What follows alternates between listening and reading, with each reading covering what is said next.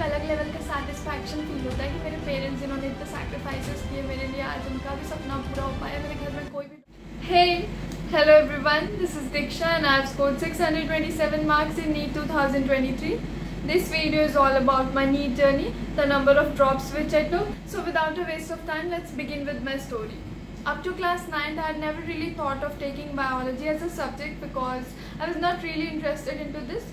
I was all set for maths. Until in class 10th when I joined a local coaching center, there I met a bio teacher and she had a great influence on me. तो उन्होंने मुझे motivate किया bio लेने के लिए। वो हमेशा से डॉक्टर बनना चाहती थी मगर वो बन नहीं पाई तो वो मुझे कहती थी कि तुम ज़रूर बनना। सो एलेवेंथ आई और मैंने बायो लिया और मैंने आकाश इंस्टीट्यूट ज्वाइन किया पटना में जो कि मेरे लाइफ का अच्छा डिसीज़न नहीं रहा। क्योंकि मेरा एक्सपीरियंस वहाँ अच्छा नहीं रहा, इसलिए मैं ऐसा कह रही हूँ। ऐसा नहीं है कि मैं कह रही हूँ कि हर जगह के आकाश इंस्टीट्यूट बुरे हैं और आपने वहाँ लिया तो आप सेलेक्ट नहीं हो सकते, ऐसा बिल्कुल भी नहीं है। मेरा यहाँ पर्सनल एक्सपीरियंस अच्छा नहीं रहा that's why am saying that it would have been better if I join some other coaching institute but फिर उसके बाद जब मेरा इलेवन ट्वेल्थ हो गया, मेरा बेस काफ़ी ख़राब हो गया था तो उस साल को मैं अपनी प्रिपरेशन जर्नी में काउंट नहीं करती। उसके बाद मैं ट्वेल्थ के बाद मैं कोटा चली गई और वहाँ मेरा एक्सपीरियंस काफ़ी अच्छा रहा। मैंने 2018 में अपना ट्वेल्थ कंप्लीट किया था और मैं तभी कोटा गई थी। एल का सिस्टम मुझे काफ़ी पसंद था, उनके पढ़ाने का तरीका, वहाँ के teachers everything everything was super and वहाँ के हॉस्टल्स सब कुछ मैनेजमेंट सब कुछ स्टूडेंट लाइफ के अकॉर्डिंग ऑर्गेनाइज था। और बहुत लोग कहते हैं कि वहाँ का माहौल अच्छा नहीं है तो माहौल कहीं का भी अच्छा नहीं होता। अगर आप पढ़ना ना चाहें तो आप कहीं भी रहें तो आप नहीं पढ़ेंगे। इसलिए मुझे इन सब पे यकीन नहीं है। मुझे कोटा में काफ़ी अच्छा लगा। और अब मैं देखती हूँ इंटरनेट पर सब कोटा के बारे में बोलते रहते हैं, मगर ऐसा बिल्कुल भी नहीं है। वहाँ पर काफ़ी अच्छे से पढ़ाते हैं। अगर आपको जाना है एलएन कोटा तो आप बिल्कुल जाइए वहाँ पर। 2019 में जो नीट का पेपर हुआ उसमें मेरे स्कोर 430 के अप्रॉक्स थे। वो काफ़ी अच्छे स्कोर तो नहीं थे पर मैंने इम्प्रूव करा था और मेरे पापा को लगा कि इसको फिर से ड्रॉप करवाते हैं अगली बार अच्छा करेगी। क्योंकि मैं लास्ट में सिलेबस मैनेज नहीं कर पाई थी मुझसे नहीं हो पाया सा, सारा सिलेबस मैनेज जैसे मैंने एक सब्जेक्ट पढ़ा तो मुझसे कुछ छूट गया कुछ रह गया ऐसे हो गया था मेरे साथ। तो फिर मैंने एक और ड्रॉप लिया और मैं कोटा में ही रही। उस साल मेरी पढ़ाई काफ़ी अच्छी चली और सब कुछ मुझे लग रहा था कि पॉजिटिव ही होगा, पर एंड में कोविड आ गया और हम सब घर आ गए। तो जब मैं घर आई तो मैं ओवर एक्साइटेड हो गई थी इतने दिन बाद घर आने को लेकर और काफ़ी मेजडअप हो गया मेरा सारा स्टडी शेड्यूल सब कुछ। तो मैं मैनेज नहीं कर पाई। वो पोस्टपोन का भी चल रहा था कि पोस्टपोन होगा, नहीं होगा, इस चक्कर में मैंने टेस्ट वगैरह भी बहुत कम दिए तो मेरा नहीं हो पाया और मेरे, मेरा स्कोर उस साल रहा फाइव हंड्रेड टेन जो कि बुरा स्कोर भी नहीं था, मगर सिलेक्शन से काफ़ी पीछे था। तो मुझे समझ में नहीं आ रहा था क्या करा मैं बहुत डिप्रेस होने लग गई। लेकिन मैंने एफर्ट नहीं दिया था उस साल अपना हंड्रेड परसेंट ये बात मुझे पता था कि मैंने एफर्ट अपना हंड्रेड परसेंट दिया होता तो रिज़ल्ट कुछ और होता। तो मेरे पापा कह रहे थे, तुम्हें प्राइवेट में लेना हो तो तुम ले सकती हो, क्योंकि एज अ पेरेंट उनको लगा कि, मैं बहुत डिप्रेस हो जाऊँगी या मुझे अच्छा नहीं लगेगा। इस वजह से उन्होंने मुझे प्राइवेट का ऑप्शन दिया। लेकिन आप सोच कर देखिए कि as a middle class family हम लोग अगर प्राइवेट में पढ़ते तो हमारे माँ बाप को कितना ज़्यादा सैक्रिफाइस करना पड़ेगा। मतलब ज़िंदगी भर उन्होंने हमें ही पढ़ाने लिखाने में सैक्रिफाइस किया और आगे भी इसी चीज़ में सैक्रिफाइस करेंगे तो ये अच्छी बात तो नहीं होगी ना। इसलिए मैंने सोचा कि ये ठीक नहीं अगर मुझे डॉक्टर बनना है तो मैं अपने से बनूँगी, मैं खुद से अचीव करूँगी इस चीज़ को। मतलब मेरा ऐसा मानना है कि अपना करियर सभी बच्चों को खुद ही बनाना चाहिए, क्योंकि माँ बाप ने ऑलरेडी हमें बहुत कुछ दिया है। तो अब हमारी भी ड्यूटी है कि हम भी उनको प्राउड फील करवाएँ। तो इसलिए मैंने प्राइवेट का डिसीज़न तो बिल्कुल भी नहीं लिया। मुझे मैं, मुझे लगा कि ठीक है, मैं फिर से एक साल करके देख हुआ ये कि मैंने प्रिपेयर तो किया, मगर मैं काफ़ी डिप्रेस थी और मतलब मेरा अप्रोच पॉजिटिव नहीं था। अगर आप पॉजिटिव अप्रोच नहीं रखेंगे तो पॉजिटिव रिज़ल्ट भी नहीं आएगा। जैसे मेरा सिर्फ़ नेगेटिविटी था मेरे दिमाग में। मुझे लगता था मेरा नहीं होगा तो मैं क्या करूँगी? मेरा इतने, मेरे इतने अटैम्प्ट हो गए, मेरा नहीं हो पाया और लोगों का हो गया, मैं क्या करूँ? तो अगर आप ऐसा सोच के अगर तैयारी करते हैं तो फिर उसका कोई फ़ायदा नहीं हो जाता। तो मेरा फिर अगले साल 2021 में और मुझे सेंटर भी काफ़ी दूर मिल गया था। मुझे कार सिकनेस हो जाती है तो इस वजह से काफ़ी मुझे प्रॉब्लम हुई और सेंटर पे लाइट वगैरह भी नहीं था तो इस वजह से काफ़ी गर्मी भी हो रही थी और मेरा स्कोर 533 रहा। मतलब कंडीशंस तो बुरे थे, साथ में मेरा प्रिपरेशन भी कुछ खास अच्छा नहीं था क्योंकि मैंने वही वही वापस से कर लिया था और ऊपर से negative approach towards life screwed में अलॉट मुझे तो बहुत डिप्रेशन होने लगा कि अब क्या करूँ क्या करूँ। मुझे नहीं आने लगा क्या करूँ। मैंने सोचा बीएमएस ले लूँ, क्या करूँ, समझ में नहीं आ रहा था मुझे। तो मेरी बेस्ट फ्रेंड है जिसको उस साल एमबीबीएस मिल गया था, उसने मुझे काफ़ी मोटिवेट किया कि तुम फिर से कर सकते हो। उसने मुझे स्ट्रैटेजी बताई, उसने मुझे काफ़ी पॉजिटिव बातें बोली, जिससे कि मेरे अंदर काफ़ी कुछ चेंज हुआ। मुझे ऐसा लगा कि हाँ वो सही कह रही है और मतलब I am really thankful to her कि उसने मुझे उस समय गाइड किया जब मुझे सबसे ज़्यादा ज़रूरत थी। तो मैंने 2021 के बाद 2022 का अटैम्प्ट भी देने का सोचा। मतलब मेरे ड्रॉप्स तो काफ़ी हो गए थे, मैं हिम्मत भी बहुत हार रही। मेरी फ्रेंड के मोटिवेशन के अकॉर्डिंग मैंने स्टार्ट करा, लेकिन मैंने काफ़ी लेट स्टार्ट किया। आई गेस इन मार्च और एग्ज़ाम था हमारा जुलाई में सेवनटीन ऑफ़ जुलाई को।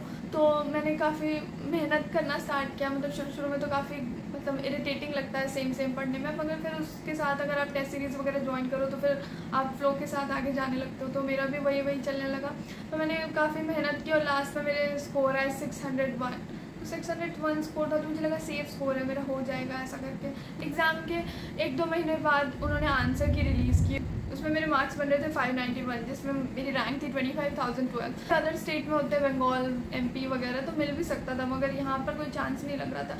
मगर ऑल इंडिया में ये लोग कहने लगे काफ़ी सारे कॉलेजेस खुले हैं यू नेवर नो मिल सकता है। तो इन्हीं चक्करों में काफ़ी दिन बीत गया और दिसंबर में मॉकअप राउंड हुआ उसमें मुझे एमबीबीएस नहीं मिला और मुझे डेंटल मिल गया। तो मतलब बहुत शॉकिंग था बहुत ख़राब भी लगा मुझे कि फिर से यही सब। लेकिन मैंने ले लिया क्योंकि काफ़ी ड्रॉप्स हो चुके थे तो मुझे लगा ठीक है मैं डेंटल ले लेती हूँ। फिर पापा मुझे कह रहे थे मौलाना आज़ाद डेंटल के लिए अप्लाई करने या फिर कहीं अच्छी जगह। लेकिन मैंने सोचा नहीं उसमें तो बॉन्ड रहता है तो मैं ऐसा कोई कॉलेज लूँगी कि अगर मेरा मन होता है फिर से तैयारी करने का तो मैं कर सकूँ। तो मैंने यहीं पर ले लिया पटना में ताकि मैं घर भी रह सकूँ। घर पर सारी सुविधा होती है it's better than hostel life I took admission in Patna dental college और हमारे कॉलेज बिहार में सिर्फ़ एक ही डेंटल कॉलेज है वहाँ पे ज़्यादातर बच्चे 585 से लेके 597, 598 के बीच ही थे क्योंकि सब लोग कट ऑफ़ से थोड़ा ही नीचे थे। तो तो मैंने देखा कि सब लोग फिर से एमबीबीएस करने के लिए प्रिपेयर कर रहे हैं। तो पहले तो मुझे काफ़ी हेजिटेशन हो रहा था कि क्या करूँ, मगर मुझे करना एम था, मुझे डेंटल पसंद बिल्कुल नहीं आ रहा था। तो मैं सोच रही थी कि हाँ मैं भी करूँ, मैं भी करूँ, लेकिन मुझसे स्टार्ट नहीं हो पा रहा था। एक पुश होता है कि आपको चाहिए होता है कि हाँ आप स्टार्ट कर पाओ। तो वो मुझे मिल नहीं रहा था। तो काफ़ी दिन बीत गए, मैंने टेस्ट ले लिया था जनवरी में ही, लेकिन मुझसे हो नहीं रहा था। मैं टेस्ट देती थी फोर के अप्रॉक्स मेरा स्कोर आ रहा था। दो तीन बार ऐसे ही हुए, क्योंकि पिछले साल का पढ़ा हुआ, उसके कारण 470 के आसपास आ जा रहे थे, लेकिन कुछ खास उससे हो नहीं पाता मेरा एग्ज़ाम में। तो मुझे वो पुश नहीं मिल रहा था तो मेरे भाई ने भी मुझे बहुत मोटिवेट किया। उसके बाद मेरे फ्रेंड्स ने भी बोला कि कर लो। और मेरे डेंटल वाले फ्रेंड्स भी कर रहे थे तो उनको देख कर भी मुझे लगा कि हाँ मुझे करना चाहिए। और फिर मैंने मार्च में होली के अप्रॉक्स होली के समय के बाद स्टार्ट किया। That was nearly seventy five days left for the exam क्योंकि मैंने पिछले साल अच्छे से करा था सिलेबस तो मुझे लग रहा था कि सिलेबस तो मैं कर ही लूँगी इतने दिन में। तो मैंने स्टार्ट किया शुरू शुरू में, मेरे स्कोर्स भी अच्छे नहीं आ रहे थे, मुझे काफ़ी डर भी लग रहा था। तो कुछ कुछ दिन करते करते मेरे स्कोर्स 550 में अटक से गए। मतलब कि मुझे 540, 550, 538 मतलब बिल्कुल एकदम फिक्स हो गया था। मुझे काफ़ी मतलब डर लगता था कि इसमें होगा कि नहीं। एल का पेपर थोड़ा टफ भी होता है तो थोड़ा बहुत होप भी रहता था कि हाँ। लेकिन इस बार मैंने ज़्यादा कुछ नहीं सोचा कि आगे क्या होगा नहीं होगा। जिस मैं पढ़ रही थी और मैंने सोचा जो होगा इस बार लास्ट होगा। मैं अगर नहीं कर पाई तो मैं डेंटल करूँगी। इस बार मुझे डर तो लग रहा था मगर मैंने सोच के रखा था कि अगर नहीं होता तो मैं डेंटल ही करूँगी खुशी खुशी वो भी, क्योंकि अब जो डेस्टिनी में वही कर सकते हैं, अब कुछ बदल नहीं सकते। तो मैंने इस बार एकदम क्लियर कट सोचा हुआ था कि बस एमबीबीएस नहीं तो डेंटल दोनों में से बस इस बार फाइनल है। तो ऐसा करके मैं नीट वाले दिन गई, फिर उस दिन की कहानी अलग है, जो मैं बाद में बताऊँगी। फिर तो फिर मैं एग्ज़ाम देकर आई और मैंने मार्क्स जोड़े, मेरे 632 बन रहे थे, मगर फिर बाद में पता चला मैंने एक बबलिंग मिस्टेक कर दिया तो मेरे 627 मार्क्स बन रहे थे।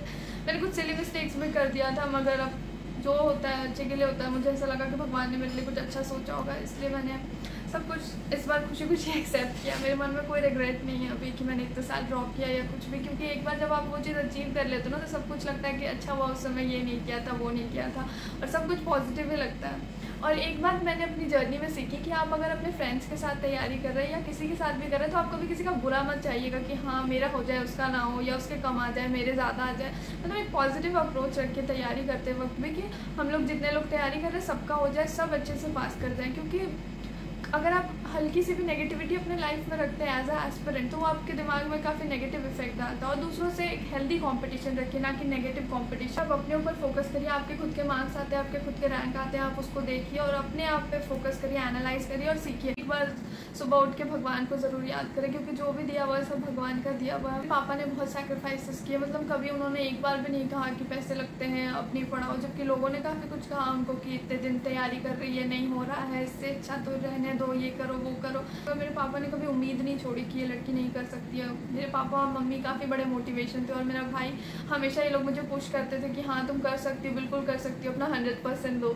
मतलब अगर आपके सराउंडिंग में पॉजिटिव लोग हो तो आपकी जर्नी काफ़ी आसान हो जाती है। मेरे फ्रेंड्स जो डेंटल में बने थे they were also very supportive आज मुझे एक अलग लेवल का सेटिस्फैक्शन फील होता है कि मेरे पेरेंट्स जिन्होंने इतने सेक्रीफाइसेस किए मेरे लिए, आज उनका भी सपना पूरा हो पाया। मेरे घर में कोई भी डॉक्टर नहीं मेरे खानदान में कोई डॉक्टर नहीं है, मैं पहली डॉक्टर बनूँगी इस खानदान में सो मेरी फैमिली में सब बैंक पुलिस आर्मी यही सब में या फिर कॉपोरेट वर्ल्ड में लेकिन डॉक्टर कोई भी नहीं है तो मेरे पेरेंट्स बहुत ज़्यादा डेस्परेटली चाहते थे कि मैं डॉक्टर बनूँ। और मुझे ऐसा लगता है मैंने नीट की जर्नी में काफ़ी कुछ सीखा। एज अ ह्यूमन भी मेरे अंदर काफ़ी चेंज आया, मैं काफ़ी मेच्योर भी हो गई। आपके जीवन में कोई भी फेलियर आता है तो आप उसको पॉजिटिव वे में ले हर फेलियर हमें कुछ सिखाने के लिए आता है। और अगर जिनका इस बार कुछ नंबर से नहीं हो रहा तो आप सोच के देखिए।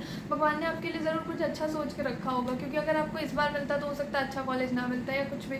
तो अगर अगली बार होगा तो हो सकता है आपके लिए कुछ बहुत अच्छा सोच रखा होगा भगवान ने। इसलिए आप बिल्कुल बेफिक्र होकर तैयारी करिए। and guys do subscribe my channel.